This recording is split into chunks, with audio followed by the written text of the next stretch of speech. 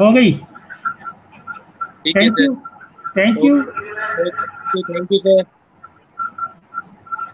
चलिए तो स्टूडेंट्स आगे हम बात करते हैं टाइम डिपॉजिट और डिमांड डिपॉजिट के बीच में डिफरेंस की।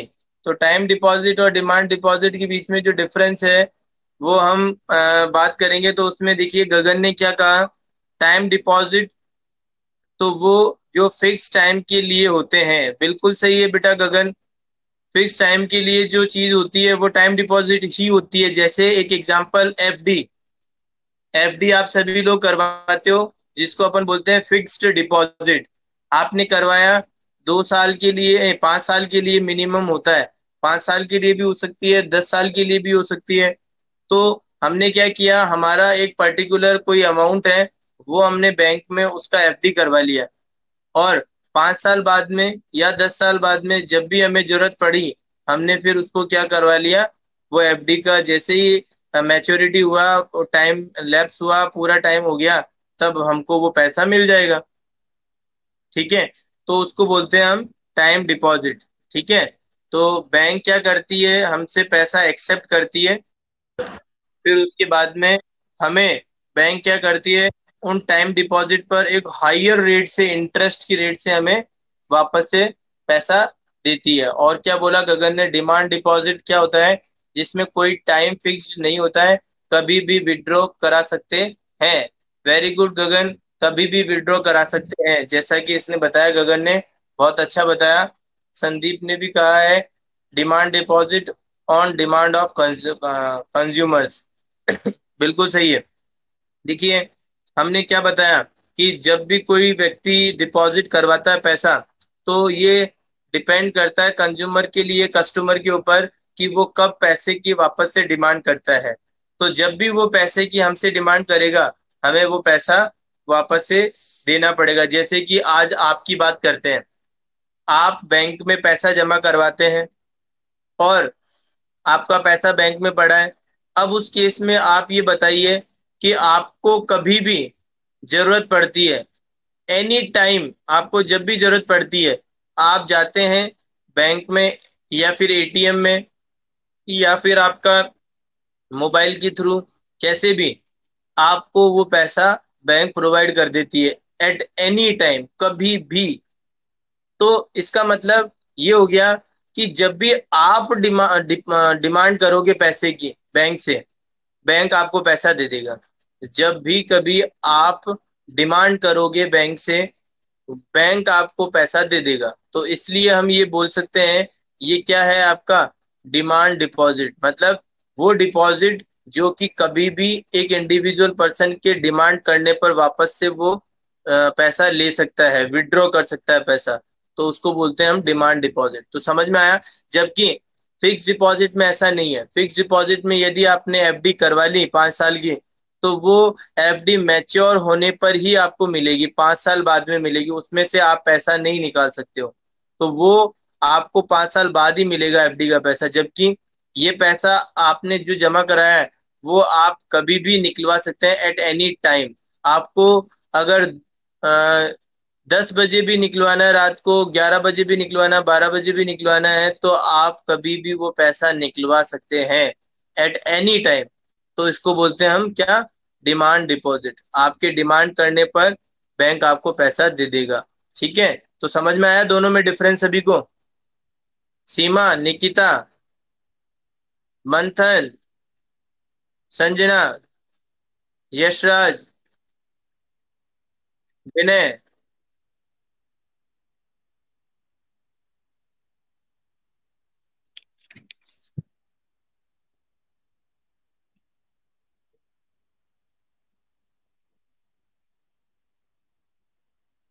वेरी गुड चलिए, अब आगे बढ़ते हैं हम वो है granting loan granting loan granting loan का क्या मतलब होता है?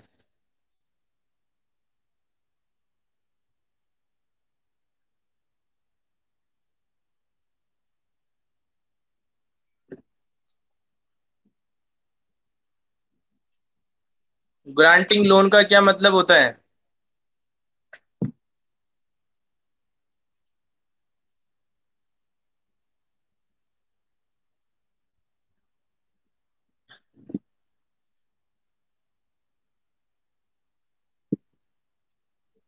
ग्रांटिंग लोन का क्या मतलब होता है?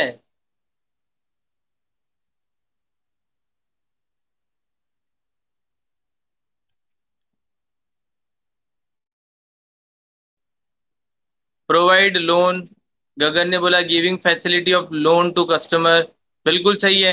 तो ये बैंक जो है कमर्शियल बैंक क्या करता है? आ, अपने अपने कस्टमर्स को लोन प्रोवाइड करता है। ठीक है बैंक प्रोवाइड क्या करता है? अपने फैसिलिटी प्रोवाइड करता है अपने कस्टमर्स को। अलग अलग लोन प्रोवाइड करता है। ना अलग अलग क्या क्या हो सकते हैं? जैसे कि होम लोन भी हो सकता है एजुकेशन लोन भी हो सकता है, और मैरिज लोन भी हो सकता है व्हीकल लोन भी हो सकता है।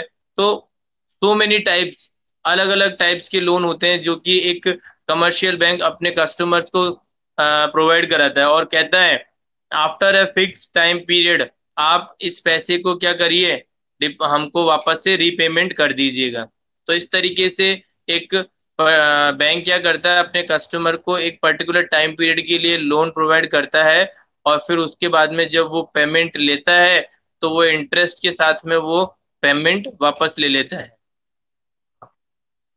और अगर मैं बात करूँ कि कुछ लोन जो होते हैं according to the government guidelines जो होती है, उनकी स्कीम्स बनी हुई होती है गवर्नमेंट की फॉर वीकर सेक्शन तो उनको भी वो लोन प्रोवाइड करते हैं। तो अलग अलग गवर्नमेंट की स्कीम भी होती है, उनको वो लोन प्रोवाइड करना पड़ता है गवर्नमेंट की ऑर्डर्स को फॉलो करना पड़ता है सभी बैंक्स को।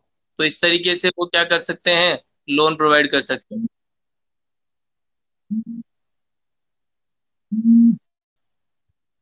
आगे हम बात करते हैं ओवरड्राफ्ट की। ओवरड्राफ्ट क्या होता है? बताएँगे?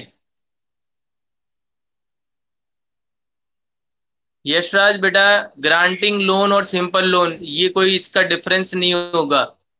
लोन ग्रांट करना ही आपका वो लोन सिंपल लोन भी हो सकता है। सिंपल और मतलब हम ये डिफ्रेंशिएट नहीं कर सकते कि सिंपल लोन क्या होता है। ठीक है ना? अलग से। सभी लोन के टाइप्स होते हैं। टाइप्स ऑफ़ लोन ज़रूर आप बोल सकते हो, जैसे कि लाइक अभी मैंने बोला मैरिज लोन भी लेते हैं, कोई कोई अलग से कोई व्हीकल लोन भी लेता है, कोई एजुकेशन लोन भी लेते हैं तो वो टाइप्स में आ गए।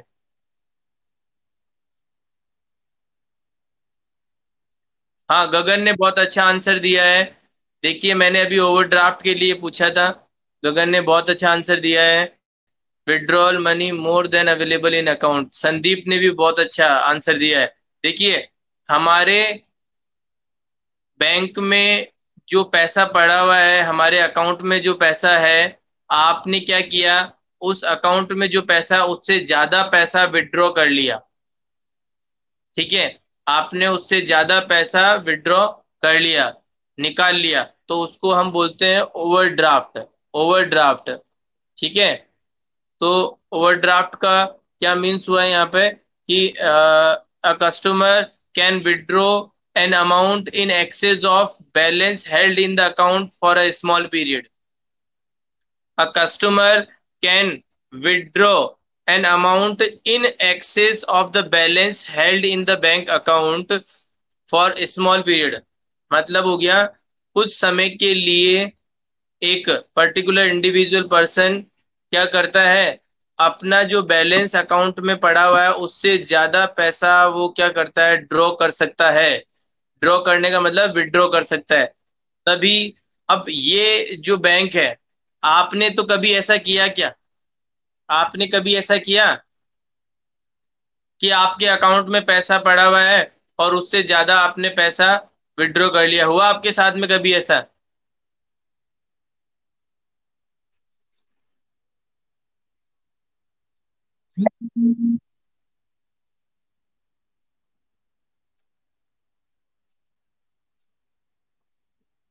No sir no sir no sir और और नहीं सर अकाउंट ही नहीं है बैंक में। तो आपको मैं बता दूँ, ध्यान दीजिए। बैंक सीमा ने भी कहा, नहीं सर और मंथन मंथन मंथन यहाँ पर है क्या? मंथन क्लास नहीं लेता है। इसकी शिकायत करनी पड़ेगी मुझे, इसके पापा से। मैं हर बार बोलता हूँ ये क्लास लेता नहीं है। कहाँ पर है? ये मंथन कहाँ पर गया हुआ है?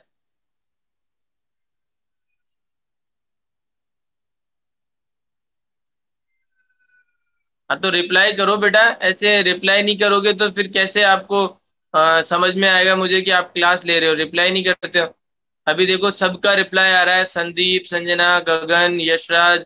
अभी जैसे निकिता नहीं निकिता ने एक भी जवाब नहीं दिया। इसका मीन्स तो यही है मेरे लिए कि निकिता क्लास में नहीं है।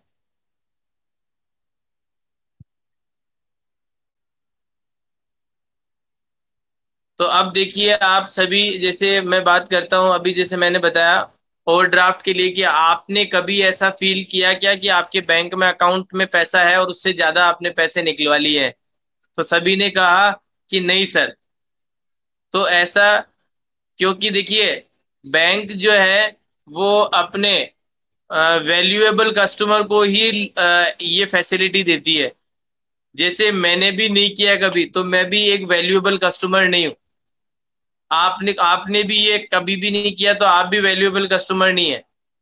तो बहुत ही वैल्यूएबल कस्टमर होते हैं ना उनको ये फैसिलिटी बैंक प्रोवाइड करती है। तो अब हम समझ सकते हैं देखिए बैंक के लिए हम कैसे कस्टमर हैं। जो हमको ओवरड्राफ्ट की फैसिलिटी भी नहीं देते हैं।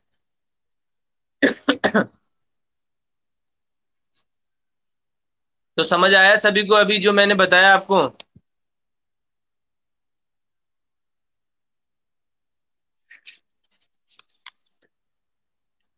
अब हम आगे बात करते हैं थर्ड फ़ंक्शन की। थर्ड फ़ंक्शन की जो है हम बात कर रहे हैं, वो आ रहा है क्रेडिट क्रिएशन गगन ने भी कहा हाँ बिल्कुल समझ में आया, संदीप ने भी कहा वेरी गुड चलिए, अब क्रेडिट क्रिएशन की बात कर रहे हैं। देखिए क्रेडिट क्रिएशन के लिए थोड़ा बहुत मैंने आपको पहले बता भी दिया था, और दोबारा एक और थोड़ा सा मैं इसको रीड आउट करता हूँ, देखिए। Credit creation is the major function of commercial bank बहुत बड़ा इंपॉर्टेंट फ़ंक्शन होता है क्रेडिट क्रिएशन मेजर फ़ंक्शन जिसको अपन बोलते हैं। जैसे कि अगर मैं बात करूँ like other bank their objective is also to earn profit इनका प्रॉफिट तो आपको पता ही है अर्न करना, हर एक कमर्शियल बैंक का जो ऑब्जेक्टिव होता है, वो प्रॉफिट अर्न करना होता है। कितनी भी बड़ी से बड़ी कमर्शियल बैंक होगी, उसका मेन एम क्या होगा? प्रॉफिट अर्न करना। और सबसे बड़ा जो प्रॉफिट जो अर्न किया जाता है बैंक के द्वारा, वो सबसे मेन जो सोर्स होता है, वो होता है इंटरेस्ट का। इंटरेस्ट से ही बैंक अपना प्रॉफिट अर्न करती है। तो बैंक क्या करती है? पहले तो एक्सेप्ट करती है डिपॉजिट फ्रॉम द डिपॉजिटर मतलब जो आपके डिपॉजिट करवाने वाले हैं, उनसे पैसा कलेक्ट करती है एंड देन फिर उस पैसे को कस्टमर को क्या कर देती है? लोन के रूप में पैसा दे देती है एक पर्टिकुलर रेट पर सर्टेन रेट के ऊपर. इसी को ही हम क्या कहते हैं? क्रेडिट क्रिएशन ये पूरा प्रोसेस जो है, वो क्रेडिट क्रिएशन का होता है. जैसे कि हमने पैसा डिपॉजिट हुआ हमारा डिपॉजिटर ने दो लाख रुपए डिपॉजिट करवाए और बैंक ने क्या किया? उसमें से एक लाख रुपए का डिपॉजिट जो है वो आ, आ, लोन के रूप में दे दिया। फिर उसके बाद में आ, एक लाख रुपए का लोन दे दिया तो उसके ऊपर इंटरेस्ट भी आया टेन थाउज़ेंड। अब हमारे पास में कैपिटल कितनी हो गई? दो लाख दस हज़ार। वापस से बैंक ने लोन दे दिया इस तरीके से क्या हो गया, हमारा कैपिटल जो है वो क्या होता जा रहा है इंक्रीज होता जा रहा है। तो इसको हम बोल सकते हैं क्रेडिट क्रिएशन तो ये समझ में आया सभी को?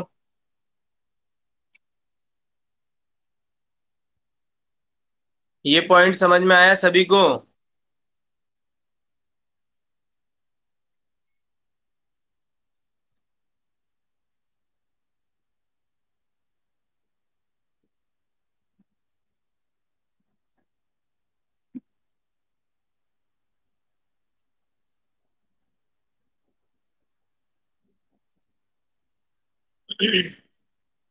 संजना ने कहा नो सर वेरी गुड ठीक है. दोबारा समझा देते संजना बेटा.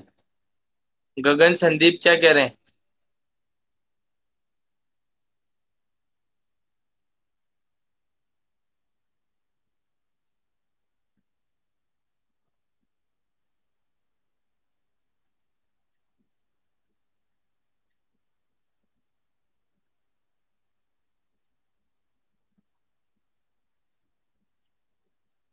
सर वो इंटरेस्ट हमें मिलेगा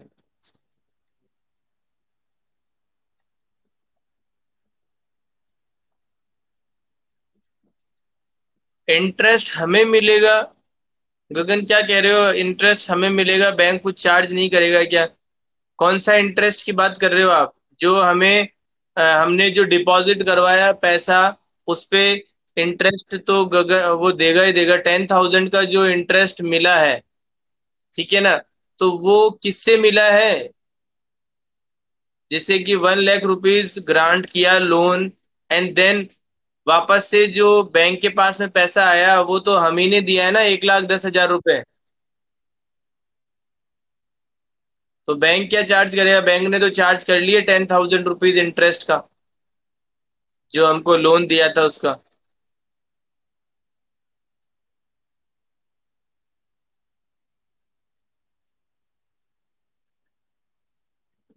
तो अब दोबारा सुनिए संजना, देखिए, हमारे पास में जो बैंक क्या करती है? बैंक का मेन जो फ़ंक्शन होता है, वो पहले तो क्या होता है? डिपॉजिट एक्सेप्ट करना। जितने भी पीपल हैं, वो क्या करते हैं? अपना जो पैसा होता है, वो उनको प्रोवाइड करवा देते हैं, बैंक में डिपॉजिट करवा देते हैं। तो फिर हमारा पैसा जो है, वो कहाँ पे डिपॉजिट हो जाता है? बैंक में डिपॉजिट हो जाता है। ठीक है? अब बैंक के पास में पैसा आ गया। अब बैंक क्या करती है? हमारे ही पैसे को, हमारे ही पैसे को पब्लिक में एज अ लोन दे देती है ग्रांट कर देती है। और फिर उसके बाद में अगर मैं बात करूँ कि वो पैसा जो बैंक ने एज अ लोन पब्लिक में दिया तो उनसे क्या करती है? बैंक इंटरेस्ट भी चार्ज करती है। तो एक लाख रुपए का लोन दिया, माना तो एक लाख दस हज़ार रुपए वापस से लिया। इसका मतलब दस हज़ार रुपए इंटरेस्ट के साथ में पैसा ले लिया। तो बैंक का पैसा तो क्या हो गया? बढ़ गया। बैंक का पैसा तो क्या हो गया? बढ़ गया। एक मिनट रुकिएगा। हेलो हाँ हाँ।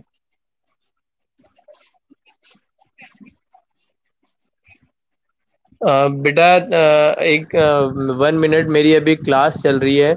मैं फ्री होके आपको वापस कॉल कर लूँगा, ठीक है? अभी मेरी ऑनलाइन क्लास चल रही है। ओके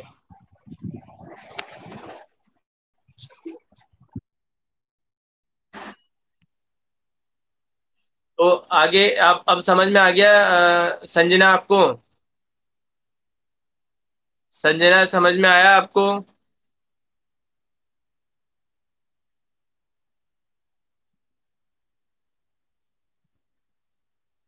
ठीक है? तो अब देखिए, आगे हम बढ़ते हैं। आगे नेक्स्ट पॉइंट के ऊपर जिसका वो है हमारा एजेंसी सर्विस एजेंसी सर्विस तो अब देखिए एजेंसी सर्विस कैसे होती है वो सुनिएगा। देखिए बैंक हमें बहुत सारी सर्विसेज़ प्रोवाइड करते हैं, ठीक है ना?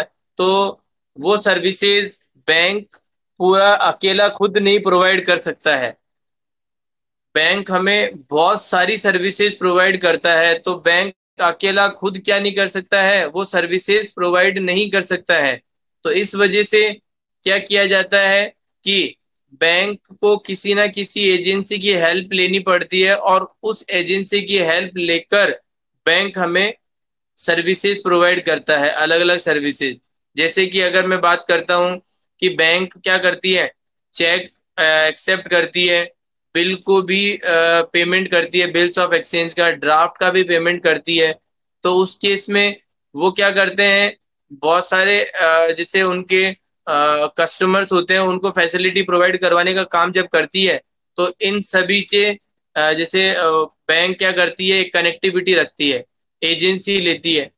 जैसे आज आजकल हम क्या करते हैं मान के चले, पहले तो हम पैसा हमारा जो चेक था वो बैंक के ड्रॉप बॉक्स में डालकर और फिर आ जाते थे। लेकिन अभी जैसे मैंने देखा कि मैं जैसे कोई चेक मिला मुझे तो वो चेक मैं बैंक में लेकर गया तो बैंक ने कहा, वहाँ पे ड्रॉप बॉक्स था ही नहीं। अब बैंक ने कहा कि ये आप इस मशीन में डाल दीजिए। तो वो मशीन में मैंने देखा तो उसमें वो टोटल सारी चीज़ें उसमें डिपॉजिट के लिए बताया हुआ था कि ये आपका टोटल अमाउंट कितने का है चेक का नंबर क्या है कितने अमाउंट का है डेट क्या है, कौन से अकाउंट में डिपॉजिट कराना चाहते हैं तो वो मशीन के अंदर डिटेल मांगते हैं और ऐसे में फिर वो चेक वहाँ पर डिपॉजिट हो जाता है और हमें रिसिप्ट भी मिल जाती है उसकी। ठीक है? तो ये सब चीज़ें बैंक नहीं कर पाता है, जबकि वो एक पर्टिकुलर मशीन ने हमें ये चीज़ करके दे दिया। तो ये क्या है? बैंक ने उस एजेंसी से टाइप कर रखा था और उस एजेंसी ने ये फैसिलिटी दी कि आप अपना चेक जो है वो यहाँ पर डिपॉजिट करा सकते हो और उसकी रिसिप्ट भी ले सकते हो। तो ये फैसिलिटी बैंक ने प्रोवाइड करवाई हमें बाय यूजिंग एजेंसी एजेंसी को यूज़ करते हुए। तो इस तरीके से हम बात करते हैं। ये तो पर्टिकुलर एक मैंने आपको एग्ज़ाम्पल दिया ऐसे बहुत सारे होते हैं। तो इस तरीके से बैंक क्या कर सकती है? एजेंसी सर्विस भी हमें प्रोवाइड करवाती है। तो ये चीज़ भी समझ में आया आपको?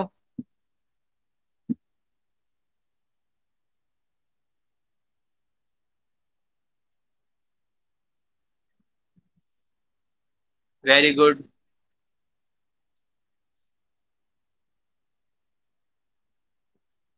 यशराज, आपको नहीं आया है तो मैं दोबारा रिपीट कर देता हूँ, सुनिए। कभी भी आप जब बैंक में जाते हो तो आपको जैसे चेक चेक को डिपॉजिट करवाने के लिए या तो वहीं का चेक होगा, तब तो सीधा आप वहाँ पे काउंटर पे दे दोगे तो वो ले लेंगे। लेकिन आपका दूसरी बैंक का अकाउंट है दूसरी बैंक का कोई भी चेक है, वो आपके अकाउंट में डालना है तो आपको बैंक वहाँ पे काउंटर पे डिपॉजिट नहीं करेंगे। उसके लिए आप क्या करोगे, एक मशीन वहाँ पे लगी हुई होगी, उस मशीन के अंदर चेक डालोगे, और वहाँ पर वो मशीन आपसे डिटेल पूछती है कि ये आपका चेक का क्या नंबर है डेट कितनी है, कौन से अकाउंट में आप ये पैसा डिपॉजिट करवाना चाहते हो, ठीक है? वो सारी डिटेल लेने के बाद में वो आपको एक स्लिप जो है, वहाँ से जनरेट हो जाती है और वो आपको मिल जाती है। तो ये हो गया डिपॉजिट कि बैंक उस मशीन ने क्या कर लिया? आपके चेक को ले लिया। तो ये प्रोसेस जो है, वो बैंक नहीं कर पाती है।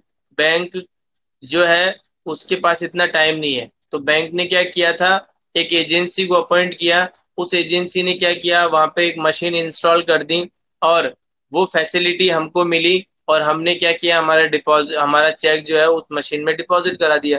तो इस तरीके से एक एजेंसी ले ली किसने बैंक ने, और वो फैसिलिटी हमको मिल गई। अब समझ आया आपको यशराज?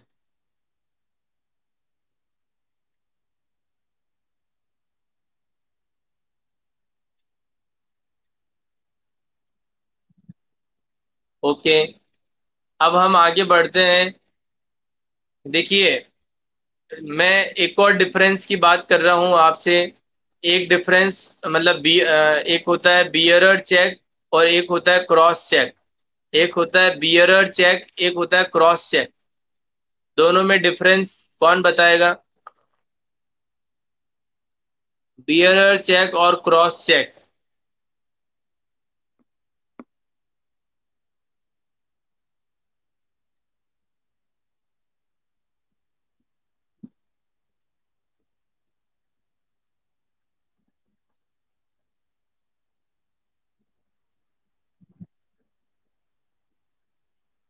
नहीं पता, सर। ठीक है। संदीप, आपको पता है?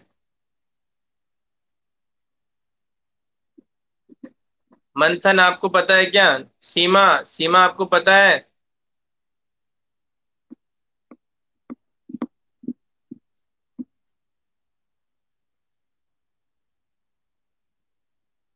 नहीं पता। सीमा, नहीं, सर।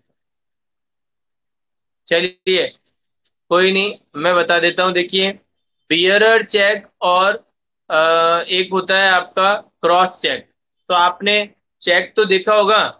आपने चेक तो देखा होगा कैसा होता है? देखिए, मैं आपको बताने की कोशिश करता हूँ, देखिएगा। ये हमारा चेक है।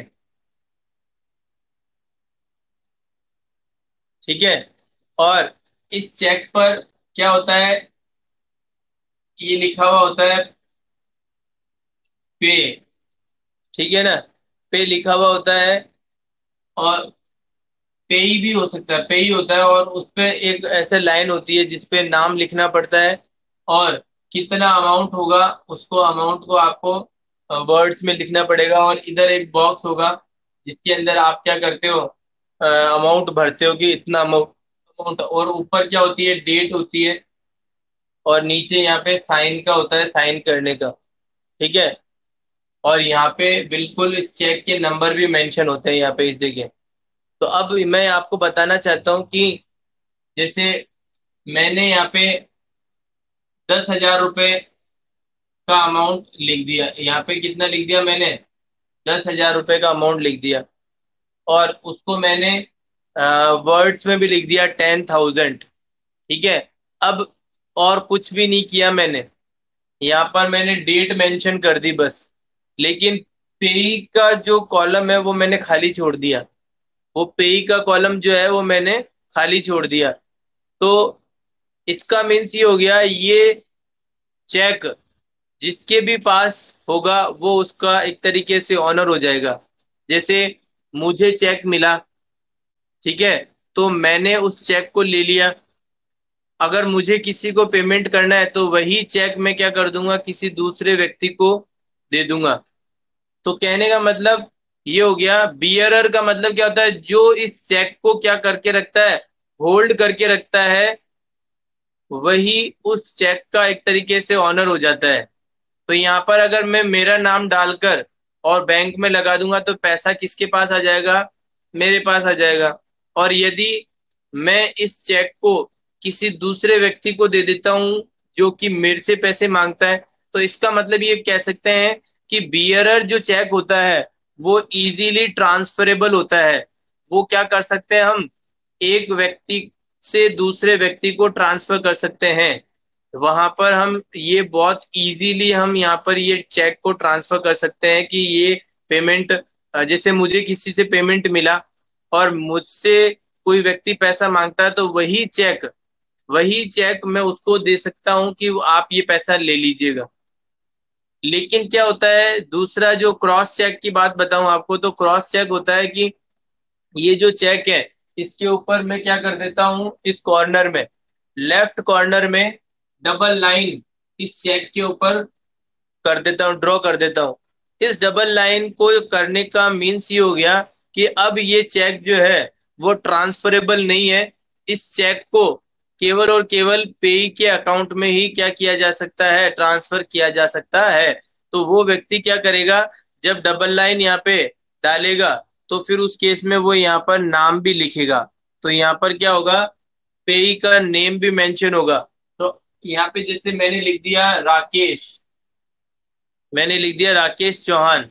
तो अब केवल और केवल ये चेक का अमाउंट मेरे ही अकाउंट में आ सकता है, किसी दूसरे अकाउंट में नहीं जा सकता। अब यदि सोचो कि मुझे किसी और को पेमेंट करना है तो मुझे क्या करना होगा? वो वो चेक मैं उसको नहीं दे सकता। पहले ये चेक जो है वो मेरे अकाउंट में लगाऊँगा, मेरे अकाउंट में पैसा आ जाएगा, तब जाके या तो मैं कैश निकलवा कर उसको दे दूँगा या फिर मेरा चेक बुक मेरा चेक उसको दूँगा निकाल कर मैं, मेरा, मेरी तरफ़ से मेरा चेक उसको दूँगा, तब जाके वो पैसा निकलवा सकता है। तो इसमें क्या हो गया आपको कि क्रॉस चेक के अंदर पर्टिकुलर क्या होता है, किसी एक पेई के अकाउंट में ही वो पैसा जाता है और कॉर्नर पे पैरेलल लाइन ड्रॉ की जाती है यहाँ पर ये, और नेम भी मेंशन किया जाता है। जबकि बियर चेक के अंदर नेम मेंशन नहीं किया जाता और ये पैरेलल लाइन जो है क्रॉस लाइन ये नहीं खींची जाती, इसलिए वो ट्रांसफरेबल होता है, जबकि ये ट्रांसफरेबल नहीं होता है। तो आप सभी को समझ में आया है आपको?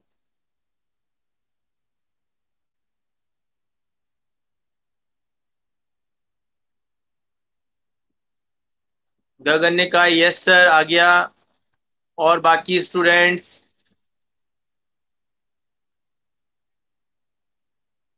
संदीप ने भी कहा, आ गया मंथन, निकिता, सीमा, यशराज, विनय।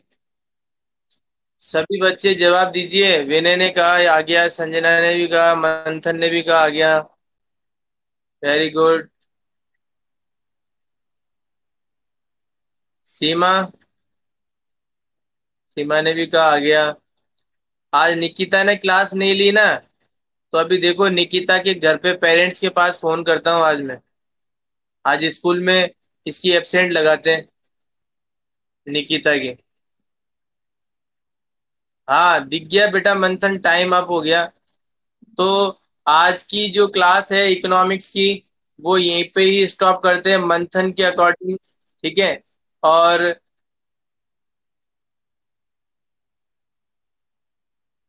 नेट नहीं चल रहा तो अभी देखो वो जवाब दे रही है, निकिता। अभी निकिता टाइप कर रही है कुछ ना कुछ, क्या अभी अभी पता चल जाएगा?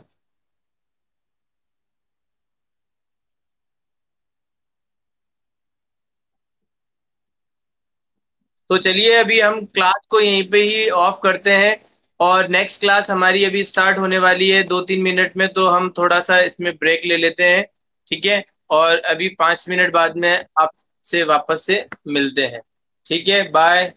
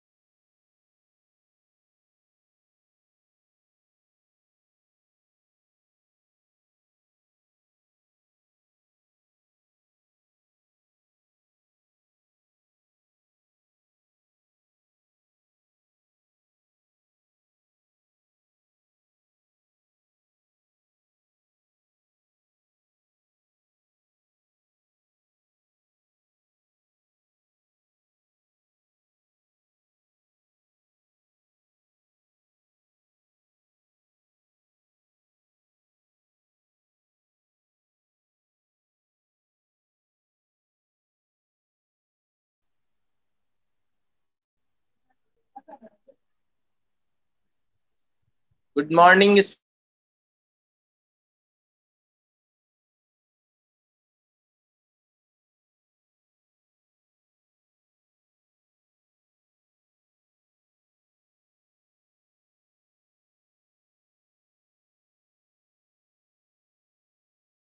students welcome back in accounts class.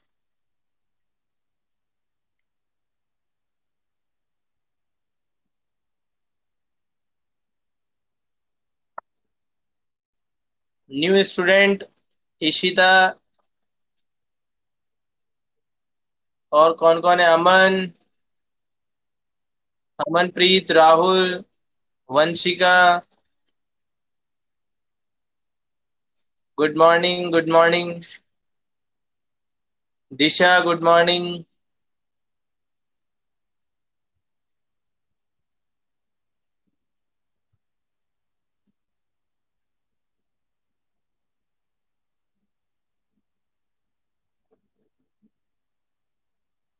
बाकी स्टूडेंट्स कहाँ पर हैं सभी?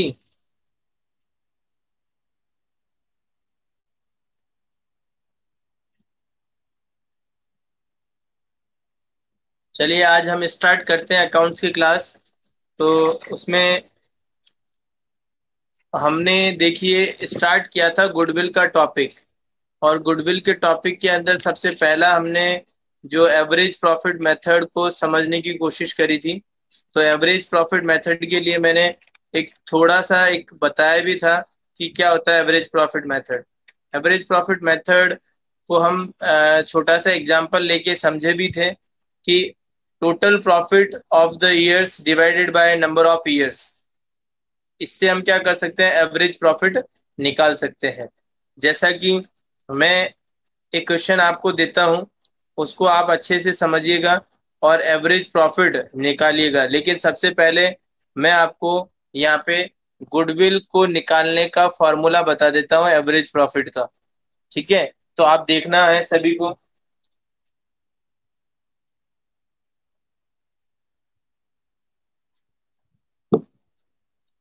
देखिए टॉपिक का जो नाम है वो है हमारा गुडविल और गुडविल को निकालने के लिए हम हम क्या कर रहे हैं? मेथड्स पढ़ रहे हैं। तो पहला जो मेथड्स है, यहाँ पे पूरा नाम अगर लिखना चाहूँ तो मैं लिख सकता हूँ। Methods methods of goodwill. Methods of goodwill. Goodwill को फाइंड करने के क्या क्या मेथड्स होते हैं, वो हम यहाँ पर लिख रहे हैं। तो अब सबसे पहला जो मेथड है फ़र्स्ट नंबर का वो है average average profit method average profit method average profit method हम यहाँ पे पढ़ने जा रहे हैं। यशराज, वापस आ गए। Good morning welcome back Vanshika नहीं दिखाई दे रही है, ईशिता नहीं दिखाई दे रही है।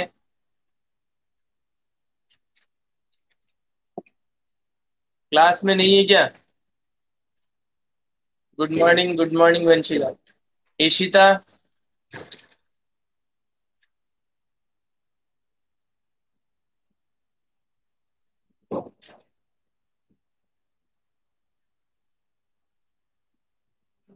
चलिए तो अब हम स्टार्ट करते हैं गुडविल को फाइंड कैसे किया जाता है? तो देखिए आप goodwill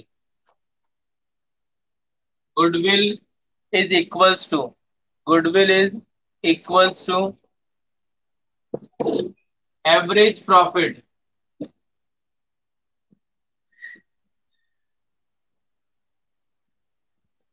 into number of purchase year देखिए गुडविल को फाइंड करने के लिए हमें क्या करना पड़ेगा?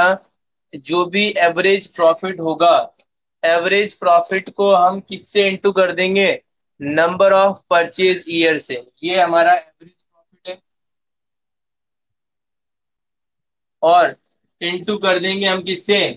नंबर ऑफ़ परचेज ईयर से। एवरेज प्रॉफिट को नंबर ऑफ़ परचेज ईयर से इंटू करने पर क्या फाइंड आउट हो जाएगा? गुडविल और ये गुडविल पूरे फर्म की गुडविल आ जाएगी। ये गुडविल कौन सी गुडविल आ जाएगी? Total total goodwill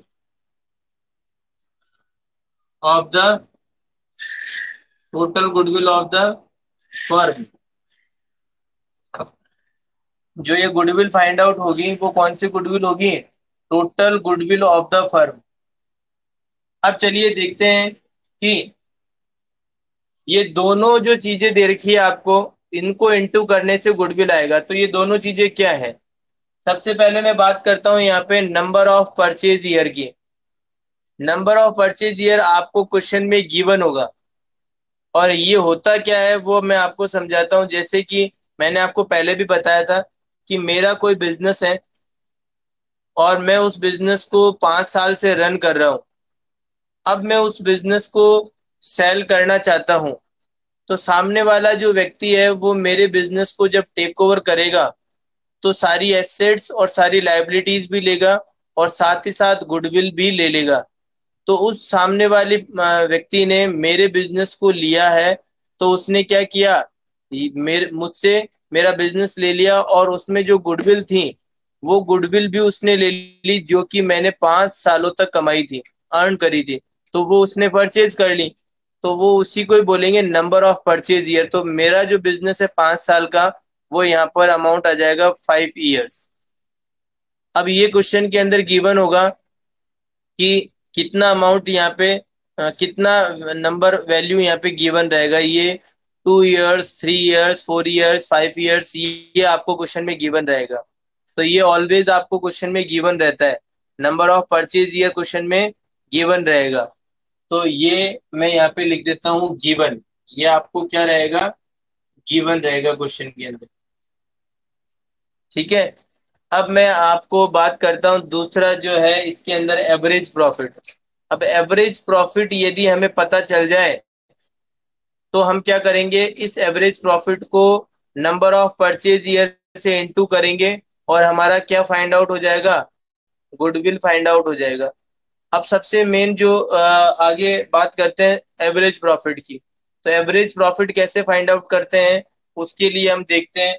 तो मैं वापस से इसको रफ कर रहा हूँ। देखिएगा, यहाँ पे कैसे फाइंड आउट करेंगे हम, वो देखिएगा। तो अब यहाँ पर मैं फॉर्मूला लिखता हूँ एवरेज प्रॉफिट को कैलकुलेट करने का। फॉर्मूला लिख रहा हूँ मैं एवरेज प्रॉफिट को कैलकुलेट करने का। कैसे एवरेज प्रॉफिट कैलकुलेट किया जाता है? तो अब यहाँ पे लिखते हैं, देखिए total adjusted profit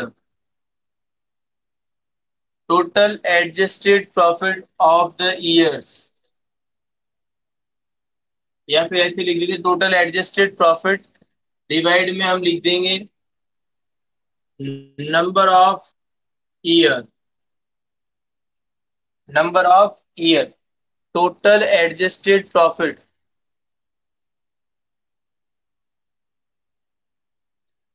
total adjusted profit divide में हम कर देंगे number of years total adjusted profit divide में हम कर देंगे नंबर ऑफ़ ईयर्स इससे क्या आ जाएगा?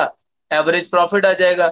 जैसे ही एवरेज प्रॉफिट आएगा, इसको हम गुडविल वाले फॉर्मूले के अंदर यहाँ पे पुट करेंगे एवरेज प्रॉफिट और ये यहाँ पे क्वेश्चन में गिवन होगा नंबर ऑफ़ परचेज ईयर तो यहाँ पर ये नंबर ऑफ़ परचेज ईयर यहाँ पे लिख देंगे और दोनों को इंटू कर देंगे और आपका गुडविल निकल कर आ जाएगा। तो ये तो रहा फॉर्मूला सभी इस फॉर्मूले को राइट डाउन कर लीजिए अपनी अपनी कॉपी के अंदर।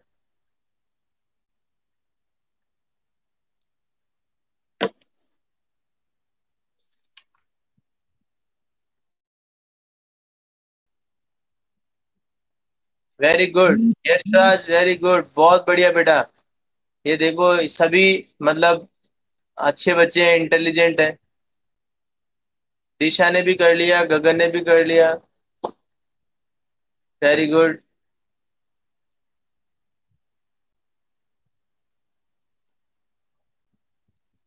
स्क्रीनशॉट लिया है लगता है। हाँ दोनों ही करने बेटा वंशिका। वो ऊपर वाला तो फॉर्मूला है, वो है गुडविल फाइंड आउट करने का। और नीचे वाला जो फॉर्मूला है, वो है एवरेज प्रॉफिट फाइंड आउट करने का। तो एवरेज प्रॉफिट जब हमें पता चलेगा, तब ही हम क्या कर सकते हैं? गुडविल फाइंड आउट कर सकते हैं। इसलिए हमें दोनों फॉर्मूले ही क्या करने हैं? लिखने। ठीक है? तो अब आप यहाँ पे आगे देखिए, दोनों फॉर्मूले मैंने लिख दिए हैं। अब एक क्वेश्चन लेते हैं हम यहाँ पे क्वेश्चन को सॉल्व करेंगे। देखिए कोई भी एक पर्टिकुलर क्वेश्चन मैं आपको आ, दे रहा हूँ। आप सभी लोग क्वेश्चन लिखिए। मैं क्वेश्चन नहीं लिख रहा हूँ। आप सभी लोग क्वेश्चन लिखिए। ये फॉर्मूला जो मैंने लिखा है मैं रफ कर रहा हूँ यहाँ पे।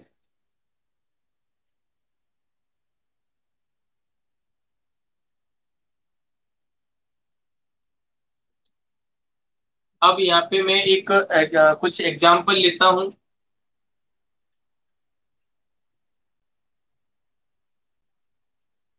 एग्ज़ाम्पल लेते हैं। तो जैसे 2012, 2013, 2014 और 2015 और 2016 ये पाँच साल है। इन पाँचों साल का ये क्या है? सारे ईयर्स है। इन पाँचों साल का जो यहाँ पे प्रॉफिट्स दिए हुए हैं, क्या दिए हुए हैं? प्रॉफिट्स दिए हुए वो है 2012 में प्रॉफिट हुआ हमारा बीस हज़ार रुपए का 2013 में प्रॉफिट हुआ पचास हज़ार रुपए का 2014 में 14 में प्रॉफिट हुआ आपका टेन थाउज़ेंड का, और 2015 में प्रॉफिट हुआ थर्टी थाउज़ेंड का। ठीक है? और 2016 में प्रॉफिट हुआ है आपका।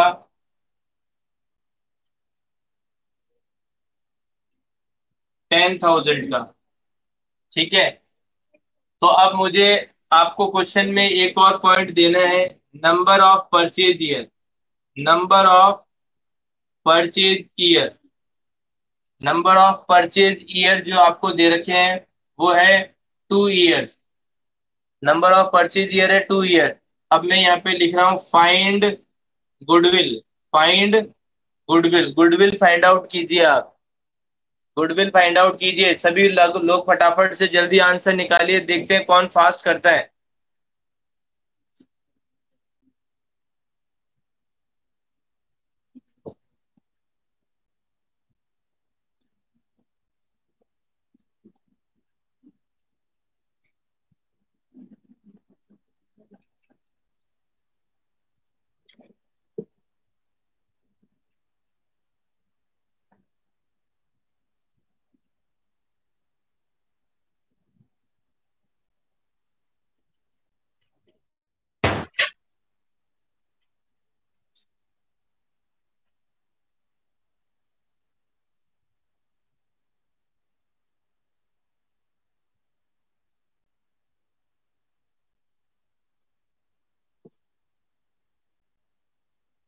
आंसर आ गया सभी का थर्टी टू थाउज़ेंड।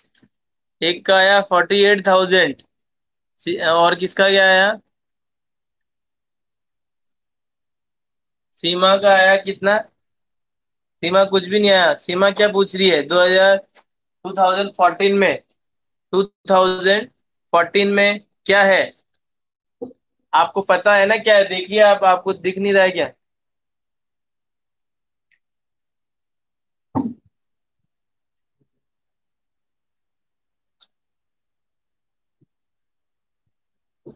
2014 में आपको दिख रहा है ना सभी को क्या है?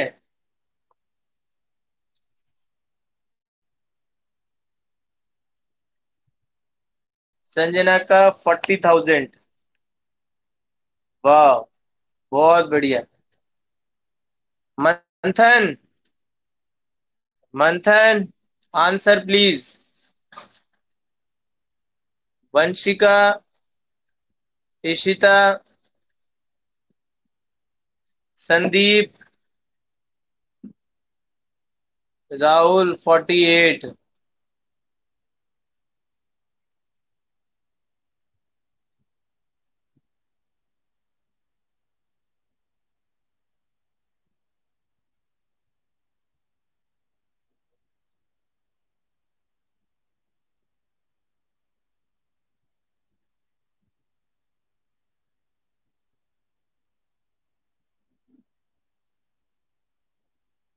चलिए मैं मैं कोशिश करता हूँ देखते हैं कि आ, कैसे होगा ये। मैं कोशिश करता हूँ।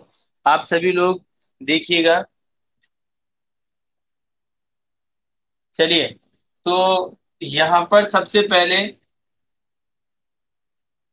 हम एवरेज प्रॉफिट फाइंड आउट करने जा रहे हैं। और एवरेज प्रॉफिट के लिए फॉर्मूले के अंदर हमें क्या चाहिए? टोटल प्रॉफिट टोटल प्रॉफिट चाहिए ना? तो टोटल प्रॉफिट को निकालने के लिए हम क्या करेंगे? जितने भी सारे प्रॉफिट्स दे रखे हैं, इन सभी प्रॉफिट्स को हम क्या कर देंगे? ऐड कर देंगे। मंथन। मंथन का क्या आंसर आया है? देखते हैं अभी। मंथन ने ये किया है। Twenty fifty ten thirty ten five very good very good very good ये ये आंसर ये किया है मंथन ने। बहुत शानदार। वेरी गुड बेटा। अब हम यहाँ पे देखते हैं क्या आपका आंसर सही है या गलत है। उसके लिए देखिए, सामने बोर्ड पे देखिए। टोटल प्रॉफिट्स आपको दे रखे हैं। जिसमें देखिए, आपको दो ईयर 2014 और 2016 के अंदर जो प्रॉफिट्स दे रखे हैं ना, उनके आगे ब्रैकेट लगा हुआ है। ब्रैकेट में दिया हुआ है। तो हम ये ध्यान रखिएगा, जो भी ब्रैकेट में है, वो क्या है? लॉस है। वो प्रॉफिट नहीं है। जो भी ब्रैकेट में दिया हुआ है, वो लॉस है, वो प्रॉफिट नहीं है। तो इसलिए हम ये बोलेंगे कि ये क्या है? ये लॉस है और ये लॉस है। ये दोनों क्या है? लॉस है। बाकी के प्रॉफिट है। तो आप देख लीजिए, टोटल लगा लीजिए फिफ्टी और थर्टी, एट्टी और नाइन्टी और हंड्रेड। एक लाख रुपए के तो प्रॉफिट है। एक लाख में से बीस हज़ार रुपए के लॉस है। तो आपका जो टोटल प्रॉफिट कितना है? Eighty thousand. आपका टोटल प्रॉफिट कितना आया? Eighty thousand. ये तो टोटल प्रॉफिट आ गया। और नंबर ऑफ़ ईयर्स की मैं बात करूँ तो नंबर ऑफ़ ईयर देखिए ये रहे। देखो नंबर ऑफ़ ईयर और नंबर ऑफ़ परचेज ईयर दोबारा मैं बोल रहा हूँ रिपीट कर रहा हूँ। नंबर ऑफ़ ईयर और नंबर ऑफ़ परचेज ईयर दोनों में डिफरेंस है। तो नंबर ऑफ़ ईयर तो क्या होंगे? One two three four five ये पाँच साल जो दे रखे हैं आपको, ये नंबर ऑफ़ ईयर्स है। तो आपको क्या करना है? इन पाँच साल को डिवाइड करना है एवरेज प्रॉफिट निकालने के लिए। तो हम क्या करेंगे? यहाँ पर एटी थाउज़ेंड को डिवाइड कर देंगे फाइव से। एट्टी थाउज़ेंड को डिवाइड कर देंगे फाइव से। तो फाइव वन जा और फाइव सिक्स जा। तो आंसर कितना आ गया? सिक्सटीन थाउज़ेंड आंसर कितना आ गया? एवरेज प्रॉफिट कितना आ गया? सिक्सटीन थाउज़ेंड सिक्सटीन थाउज़ेंड आपका एवरेज प्रॉफिट आ गया। अब हम गुडविल के फॉर्मूले में इसको पुट करेंगे। तो गुडविल का फॉर्मूला क्या कहता है? Average profit into number of purchase year तो एवरेज प्रॉफिट हमारा आ गया सिक्सटीन थाउज़ेंड और नंबर ऑफ़ परचेज ईयर आपको क्वेश्चन में गिवन था, वो टू तो कितना हो गया आपका? Thirty two thousand thirty two thousand firm की गुडविल आ गई। फर्म की गुडविल जो आई है, वो कितनी आई है? थर्टी टू थाउज़ेंड तो अभी आप, अब बताइए, आपको सभी को समझ आया क्या?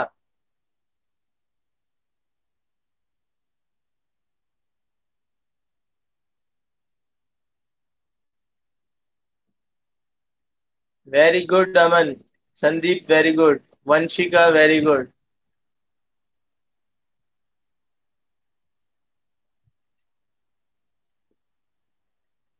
Vinay yes sir very good Yashraj yes sir Rahul yes sir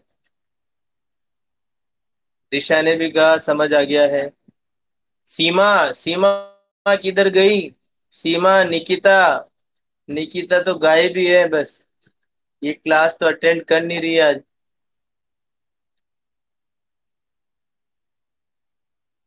सीमा ने कहा यस सर यही है।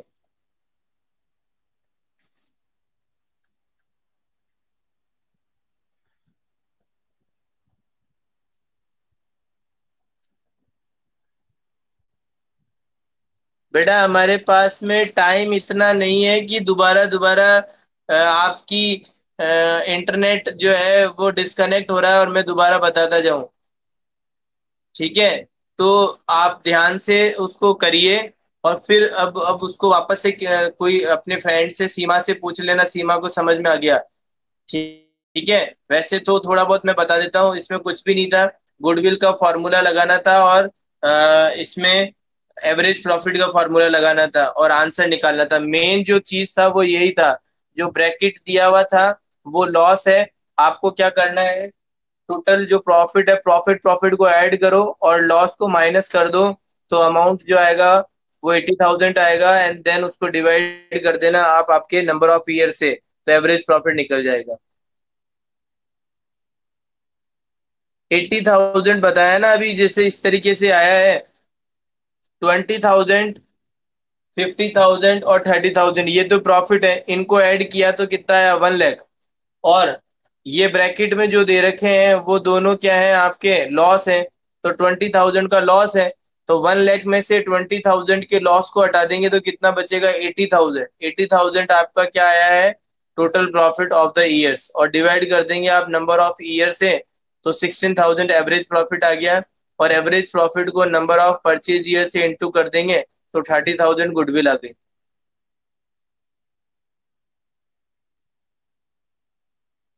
तो समझ आया सभी को? अब देखिए, एक और चीज़ का आपको जो ध्यान रखना है, वो क्या रखना है? अब मैं इसको वापस से रफ कर रहा हूँ। पूरा रफ नहीं कर रहा हूँ मैं। प्रॉफिट को थोड़ा सा पास में लिख देता हूँ। ताकि मुझे कुछ और भी लिखना है इसके अंदर। प्रॉफिट्स जो है, वो यहाँ पे दे रखे हैं ट्वेंटी थाउज़ेंड फिफ्टी थाउज़ेंड और टेन थाउज़ेंड का लॉस था थर्टी थाउज़ेंड का प्रॉफिट था और अगेन टेन थाउज़ेंड का लॉस था। अब देखिए, जब मैंने एवरेज प्रॉफिट आपको लिखवाया था तो आपको एक चीज़ का ध्यान देना था कि एवरेज उसमें आपने एक देखा होगा कि एडजस्टेड प्रॉफिट लिखा था मैंने टोटल एडजस्टेड प्रॉफिट तो उस एडजस्टेड का क्या मीन्स है? वो ये आपको समझना है, ठीक है? वो ये यहाँ पे एडजस्टेड का क्या मीन्स है वो आपको समझना है। तो बेटा मैं लिख भी रहा हूँ यशराज क्लीन नहीं दिख रहा है तो आप देखिए। ये है twenty thousand, fifty thousand, twenty thousand, fifty thousand, loss है टेन थाउज़ेंड का, थर्टी थाउज़ेंड, और लॉस है आपका टेन थाउज़ेंड का। अब आपको मैं एडजस्टेड जो प्रॉफिट है, वो कैसे निकालते हैं, वो सिखाता हूँ। तो आप सुनिएगा ध्यान से कि एडजस्टेड क्या, प्रॉफिट क्या होते हैं। एडजस्टेड प्रॉफिट को निकालने के लिए हमको क्या करना पड़ेगा? देखिए, जैसे कि मैं आपको पर्टिकुलर एक चीज़ का ध्यान रखिएगा एक्सपेंसेस और लॉसेस जो होते हैं, वो दो तरीके के होते हैं। तो एक्सपेंसेस की मैं बात करता हूँ तो एक एक्सपेंसेस होते हैं नॉर्मल और एक होते हैं abnormal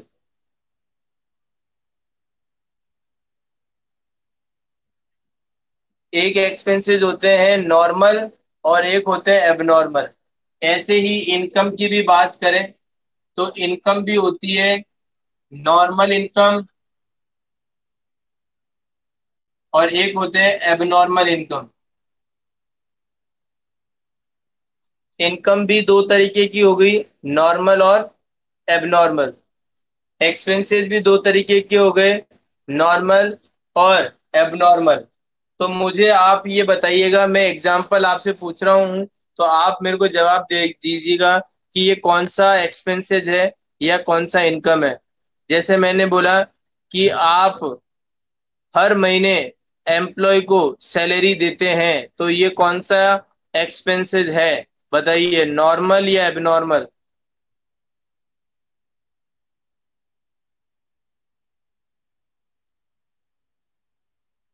very good Seema normal Amanpreet normal Vanshika normal Gagan normal ठीक है राहुल ने भी कहा नॉर्मल सभी ने कहा है नॉर्मल एक्सपेंसेस है. वेरी गुड तो कहने का मतलब नॉर्मल एक्सपेंसेस वो एक्सपेंसेस होते हैं जो कि आपकी बिज़नेस की डे टू डे एक्टिविटी का पार्ट होते हैं. मतलब ऑपरेटिंग एक्टिविटी का पार्ट होते हैं जो आपके बिज़नेस में रोज एक्टिविटीज़ जो होती है उनसे कोई भी एक्सपेंसेस होता है, वो आपका नॉर्मल एक्सपेंसेस कहलाएगा। जैसे कि मैं एक और एग्जांपल देता हूँ लाइटिंग का खर्चा रेंट का खर्चा स्टेशनरी का खर्चा, ये सब क्या है आपके? नॉर्मल एक्सपेंसेस ये सारे क्या है आपके? नॉर्मल एक्सपेंसेस अब मैं आपसे पूछता हूँ एबनॉर्मल के लिए। एबनॉर्मल एक्सपेंसेस क्या होते हैं? जैसे कि मैंने बोला आपको loss on sale of building. Building को सेल करने पर आपका लॉस हो गया। तो बिल्डिंग को आप रोज डेली तो सोल्ड करते नहीं हो, और ये आपके बिज़नेस का रेगुलर एक्टिविटी भी नहीं है। इसीलिए ये जो लॉस हुआ है, वो कौन सा लॉस कहलाएगा? एबनॉर्मल। Very good. वंशिका ने जवाब दिया है एबनॉर्मल। Very good. तो एबनॉर्मल लॉस होगा ये। अमनप्रीत, गगन दोनों ने कहा एबनॉर्मल ठीक है? तो ये चीज़ दोनों समझ में आई क्या आपको? अब आगे हम बात करते हैं। जैसे कि मैंने आपको बात करी इनकम के रिगार्डिंग बात करते हैं। डिस्काउंट रिसीव्ड कमीशन रिसीव्ड ठीक है? तो ये सब क्या है आपके? कौन सी इनकम है?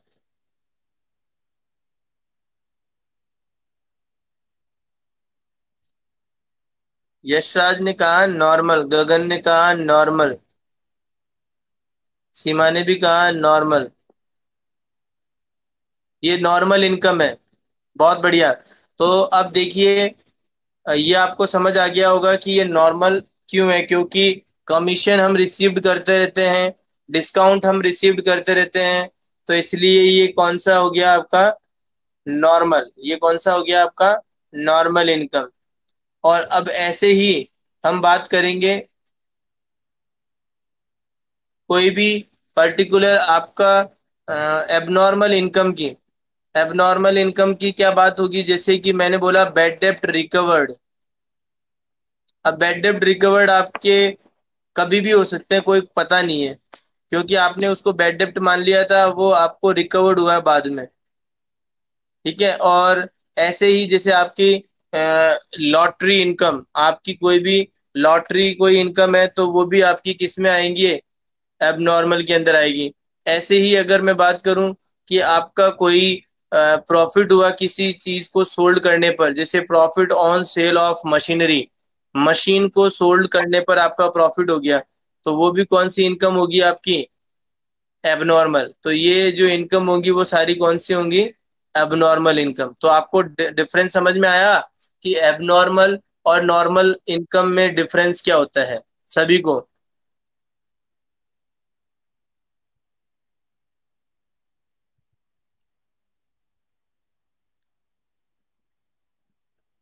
ठीक है।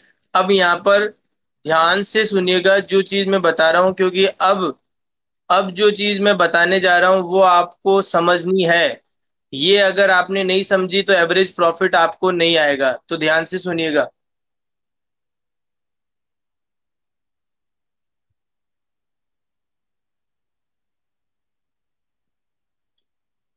देखिए मैं आपके लिए एक बॉक्स बना रहा हूँ। ठीक है?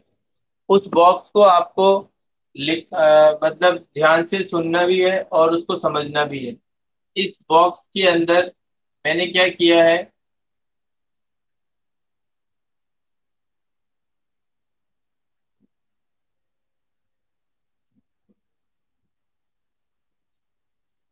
ये लीजिए। ये बॉक्स मैंने बनाया है। तो ध्यान से समझिएगा। देखिए, मैं यहाँ पे पहले बात कर रहा हूँ एबनॉर्मल लॉस की। एबनॉर्मल लॉस अगर आपको कोई एबनॉर्मल लॉस दिखता है तो उसको उस पर्टिकुलर ईयर के अंदर ऐड करना है। क्या करना है? यहाँ पर ऐड करना है। मैंने यहाँ पर प्लस का साइन लगा दिया। ऐसे ही यदि मैं बात करता हूँ यहाँ पर एबनॉर्मल इनकम की एबनॉर्मल क्या हो? इनकम हो तो उसको क्या करना है? पर्टिकुलर ईयर के अंदर माइनस करना है। उस पर्टिकुलर इनकम में से माइनस करना है। अगर एबनॉर्मल इनकम दे रखी है तो वो क्या होगी? माइनस होगी। अब आते हैं हम नॉर्मल पे नॉर्मल लॉस जो है, वो यदि आपको दे रखा है। नॉर्मल लॉस यदि आपको दिया हुआ है नॉर्मल लॉस यदि आपको दिया हुआ है तो वो क्या होगा? माइनस होगा। नॉर्मल लॉस और नॉर्मल प्रॉफिट दिया हुआ है। नॉर्मल प्रॉफिट दिया हुआ है। तो नॉर्मल प्रॉफिट क्या होगा? वो प्लस होगा। तो इस बॉक्स को आप अपनी कॉपी के अंदर राइट डाउन कर लीजिए, ये बॉक्स बना लीजिए abnormal loss abnormal income normal loss और नॉर्मल प्रॉफिट ये सारा चीज़ जो है वो आप इसके अंदर कॉपी में आप इसको बॉक्स बना लीजिए।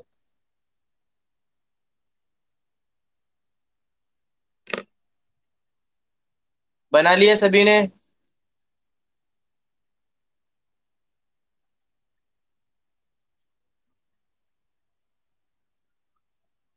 वेरी गुड चलिए तो अब आपने सभी ने जब ये बना लिया है तो मैं वापस से इसको क्या कर रहा हूँ, रफ कर रहा हूँ, और क्वेश्चन के अंदर हम कुछ करते हैं, देखिए। इसको मैं वापस से रफ कर रहा हूँ। और अब देखिएगा, ये क्वेश्चन वापस से ले लिया मैंने। सेम जो क्वेश्चन अभी पहले किया था मैंने। और अब मैं क्या कर रहा हूँ?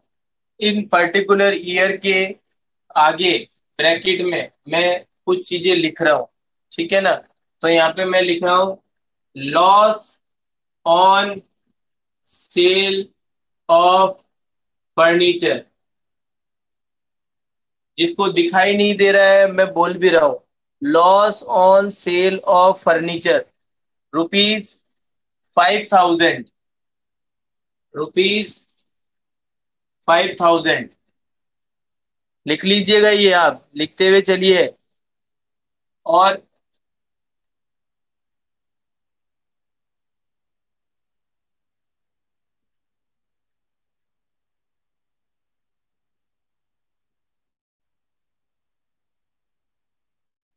profit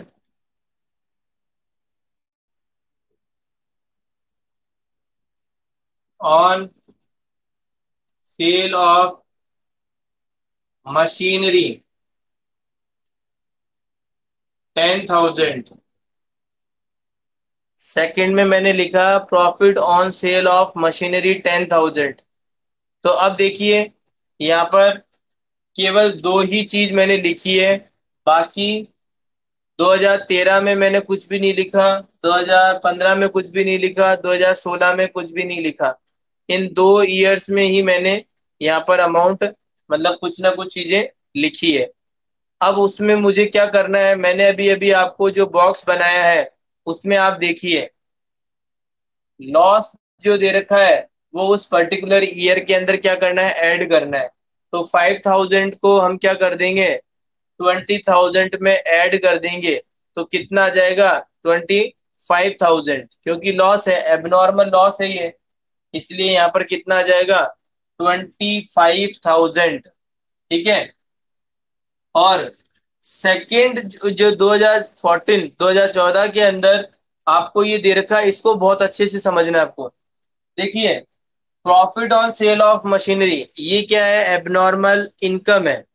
एबनॉर्मल इनकम का आपको मैंने अभी बॉक्स में बताया था, इसको क्या करना है? लेस करना है। इसको क्या करना है?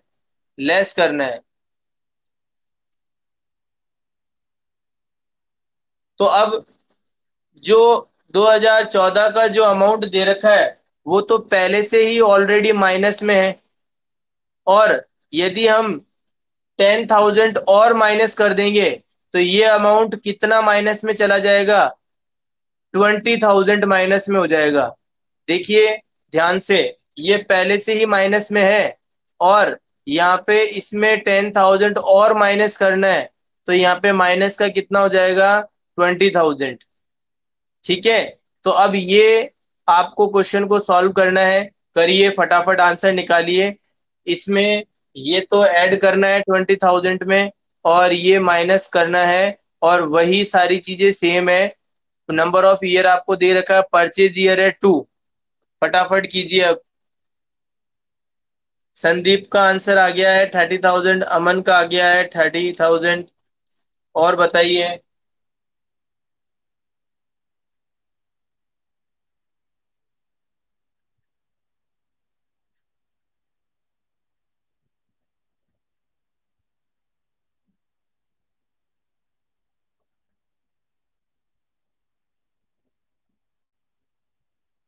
चलिए, मैं बताता हूँ, सुनिएगा।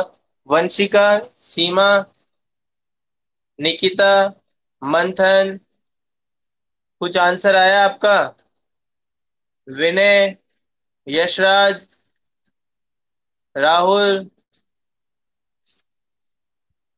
संजना।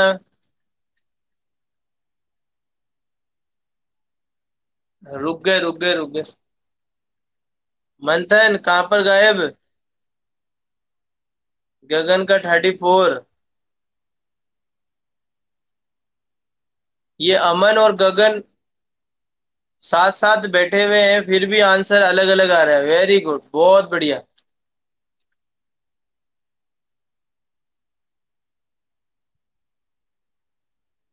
ये लो, अब अब हाँ मंथन का थर्टी फोर। संदीप किधर गया? संदीप का थर्टी थाउज़ेंड आ गया था।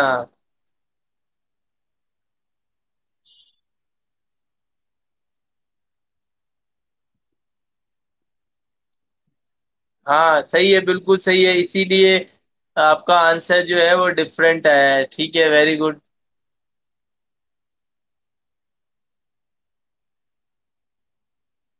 यशराज, फटाफट बताइए। निकिता, सीमा सीमा, कितना रुकोगे अब? फटाफट बताओ। जल्दी से। राहुल थर्टी फोर देखो, ये राहुल तो कुछ करता नहीं। राहुल, अपनी कॉपी जो है वो क्लिक करके भेजना, जो काम किया है अभी बताना, ये थर्टी फोर कैसे आया? जैसे अभी मंथन ने भेजा था ना, वैसे भेजो राहुल। यशराज ने कहा, सर, नहीं आ रहा, वंशिका का थर्टी थाउज़ेंड ये लो, इसका चेंज हो गया वापस। अलग आ रहा है। चलिए, ध्यान दीजिए, मैं मैं कुछ कोशिश करता हूँ आपकी। तो पहले साल में जो यहाँ पे लॉस दे रखा है, वो ऐड होगा ट्वेंटी थाउज़ेंड के अंदर। वो ऐड होगा ट्वेंटी थाउज़ेंड में। तो ये अमाउंट जो है, वो ट्वेंटी थाउज़ेंड में ऐड हो जाएगा। तो कितना हो जाएगा यहाँ पे? ट्वेंटी फाइव थाउज़ेंड ये ट्वेंटी फाइव थाउज़ेंड हो गया। ठीक है? फिफ्टी थाउज़ेंड में कोई चेंजेस नहीं आया, इसीलिए हम यहाँ पर कितना लिख देंगे? Fifty thousand. Profit on sale of machinery ये देखिए, ये माइनस होगा।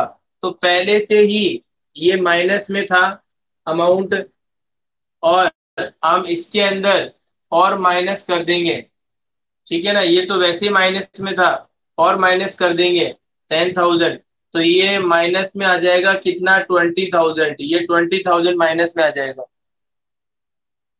ठीक है? ये माइनस में आंसर था तो ये minus ten thousand, minus ten thousand मिलाकर ये ट्वेंटी थाउज़ेंड माइनस का हो गया। थर्टी थाउज़ेंड हम यहाँ पर, इसमें कोई भी चेंजेस नहीं है तो यहाँ पे लिख देंगे। और टेन थाउज़ेंड हमारा माइनस में है, पहले से ही तो वो माइनस में हम यहाँ पे लिख देंगे। अब इसको सबको ऐड कर दीजिए आप। तो थर्टी और fifty eighty one lakh five thousand one lakh five thousand में हम क्या कर देंगे? थर्टी थाउज़ेंड माइनस कर दीजिए आप। तो कितना बचेगा? सेवेंटी फाइव थाउज़ेंड तो आंसर कितना आएगा? सेवेंटी फाइव थाउज़ेंड अब सेवेंटी फाइव थाउज़ेंड को हम क्या करेंगे? फाइव से डिवाइड कर देंगे। One two three four five तो फाइव से जैसे ही डिवाइड करेंगे तो आंसर कितना आएगा? फिफ्टीन थाउज़ेंड आंसर कितना आ जाएगा? फिफ्टीन थाउज़ेंड इधर दिखाई नहीं दे रहा है तो मैं इधर लिख देता हूँ। आंसर कितना आ जाएगा? फिफ्टीन थाउज़ेंड ये आ गया हमारा एवरेज प्रॉफिट ये आ गया हमारा एवरेज प्रॉफिट और एवरेज प्रॉफिट से गुडविल को फाइंड आउट करेंगे तो नंबर ऑफ़ परचेज ईयर से इंटू करना पड़ेगा। और नंबर ऑफ़ परचेज ईयर कितना है? टू तो फिफ्टीन थाउज़ेंड को टू से इंटू कर देंगे तो गुडविल का आंसर आ जाएगा कितना? थर्टी थाउज़ेंड गुडविल का आंसर आ जाएगा कितना? थर्टी थाउज़ेंड तो ये आंसर करेक्ट है बिल्कुल थर्टी थाउज़ेंड अब सीमा ने कहा, आ गया। संजना ने कहा, आ गया। वंशिका, आ गया क्या? मंथन का भी आ गया। गगन का भी आ गया, अमन अमन का पता नहीं, अमन आ गया क्या, अमन?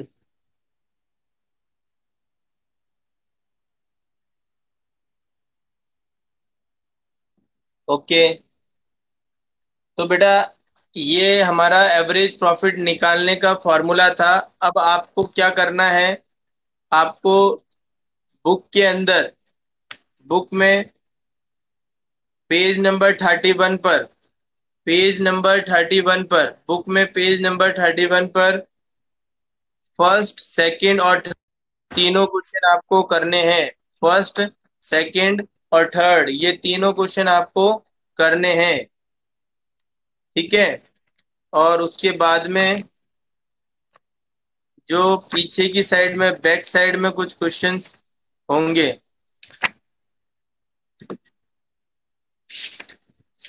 तो उसको भी एक बार देख लेते हैं।